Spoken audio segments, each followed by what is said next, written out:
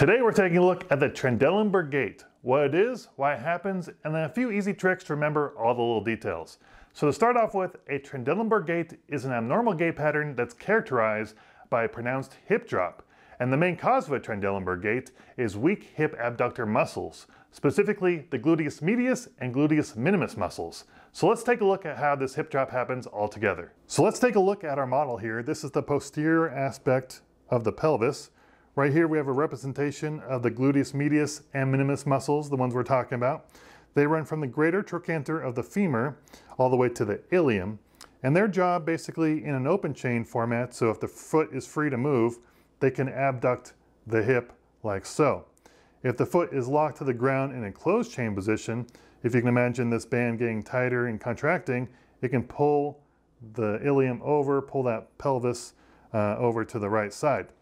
And this is important because when we're swinging through, for example, say if we're swinging our left leg through, obviously the right leg will have the entire weight of the body, but there's going to be a lot of gravitational pull on the left side. It's going to want to drop this pelvis down. Gravity is going to try to pull this down. And if this muscle is weak, if these muscles are weak, obviously they really can't do anything about it. You're going to get that hip drop. But imagine if these muscles are real strong, they can kind of pull that pelvis back over and make sure you have a nice horizontal pelvic line, even when the left leg is swinging.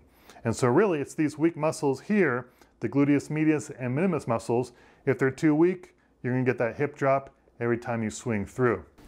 All right, so now that you understand a little bit more about Trendelenburg, let's get into how to remember a few of these details together. So a classic test question you'll see about Trendelenburg is something like this. So they'll give you a patient with a hip drop and then ask you what side you think is affected and what nerve you think is involved.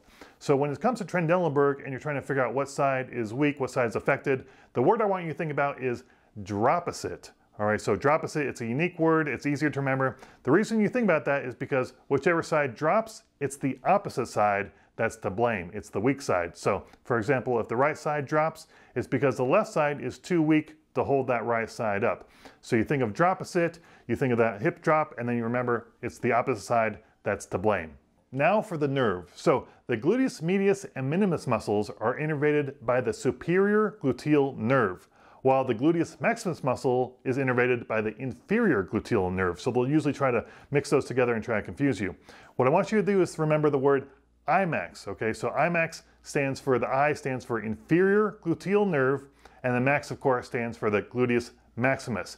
That'll help you keep those tracked together, and then you can kind of eliminate those answers from the question. Another good thing is that the glute max is the only muscle innervated by the inferior gluteal nerve. So if you remember IMAX, it might help you down the line as well. All right, so we're almost done, but of course there's a little caveat here. Some people with a Trendelenburg gait, instead of the hip dropping, what they'll do is they'll compensate by lurching their body towards the weak side. This is called a compensated Trendelenburg gait, and what it does is you move the center of gravity over towards the stance leg, and it reduces that other side from dropping. You can remember this with the phrase, you tilt to the guilt. All right, so if I was tilting to the left each time, it's because my left side is weak. All right, so remember, dropposite, if the hip drops, it's the opposite side, but if you tilt, you tilt to the guilt. All right, that covers the Trendelenburg gait. Thanks for watching, and of course, good luck on your next test.